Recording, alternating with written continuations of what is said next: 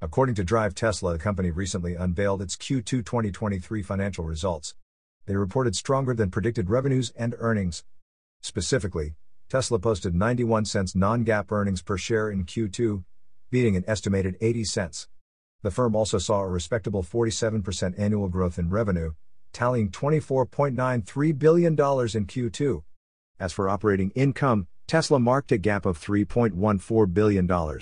Tesla's shares are relatively steady, with an increase of less than 1% in after hour trading. You are listening to UON News.